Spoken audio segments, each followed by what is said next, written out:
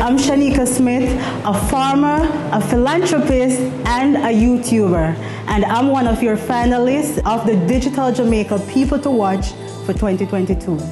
I started my YouTube channel in 2019 with the hope to inspire Jamaicans, especially the youths, to get involved in farming.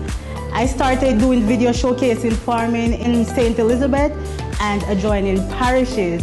And I realized that the videos were inspiring a lot of Jamaicans and even people from the diaspora. But I didn't stop there. People started reaching out to me from all across Jamaica, wanting me to help them, not just as farmers, but as individuals, to help them with housing, food, and other amenities.